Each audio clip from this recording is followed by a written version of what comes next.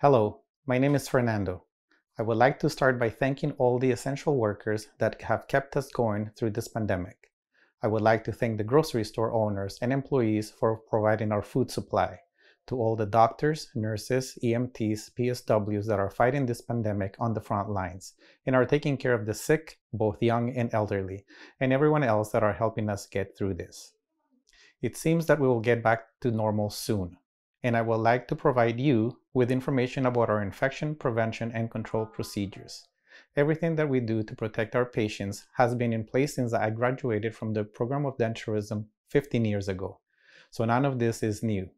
I am doing this video to provide the patient and our future patients with peace of mind and to show you the amount of work involved to keep you all healthy.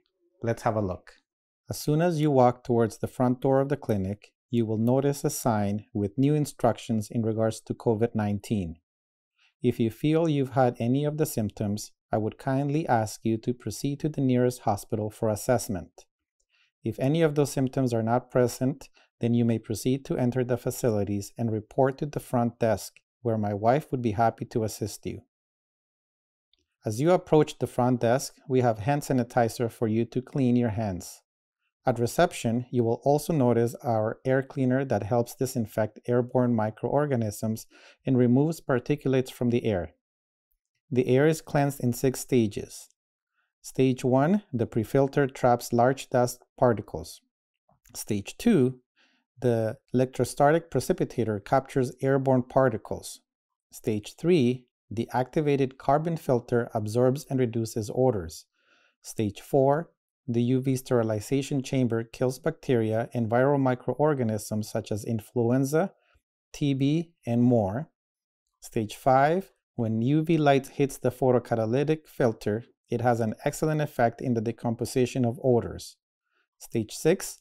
The unit generates negative ions that freshen the room air. Before the patient walks into the clinical room, we spray the chair, sink, and countertop with Biotex, a clinical surface disinfectant. Any item that touches saliva or has been in the mouth, such as an existing denture, bite blocks, printed denture try-ins, gets sprayed and disinfected with BioSurf. This spray is used, is used both in the clinical room and laboratory. Once any items reach our in-house laboratory, we take an extra step by using CaviWipes.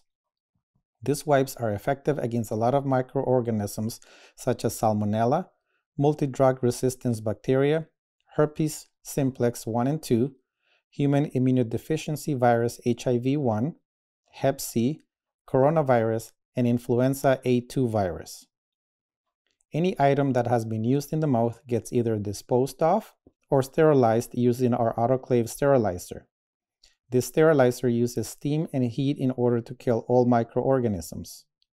Every day we use this, uh, the autoclave sterilizer, we need to prove its efficacy, and that is done by using a biological indicator. In order to keep our instruments clean and sterilized, we use self-sealing pouches that have an internal and external multivariable parameter steam indicator.